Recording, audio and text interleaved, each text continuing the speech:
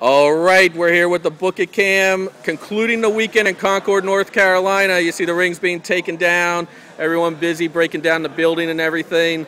Great weekend here in North Carolina. Uh, we want to thank all the people that came out and saw the shows. We know they weren't the biggest crowds. I got no problem admitting that, but everyone who came was very enthusiastic, and, and we were enthusiastic in return. We want to thank everybody who watched on live iPay-per-view at WWNLive.com. You saw some tremendous wrestling, so many great matches this weekend, and uh, by the time you watch this, both shows should be up on demand at WWNLive.com, so you can watch them anytime you want. And a lot coming out of the weekend, of course, Sami Callihan, we're going to have to address that situation. We'll have an update on that at DGUSA.tv pretty soon. We'll have news on the next Dragon Gate USA shows at the end of July pretty soon.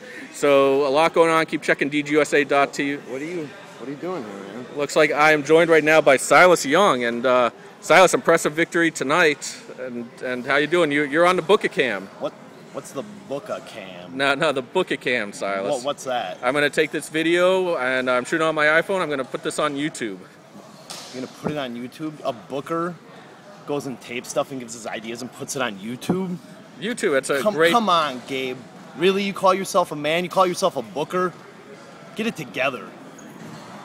Well, all right, there you go. I don't really know how to react to that, but uh, you know what? We're gonna we're gonna go backstage. We're gonna show you the art of the promo. I think that's gonna be a pretty cool idea. We're gonna show you how how we get promos done, what it looks like. So uh, I'll be back up with that video pretty soon. So check back uh, right here on our YouTube channel at DGUSA.tv, and uh, we'll have that video for you. Thank you very much, folks, for watching.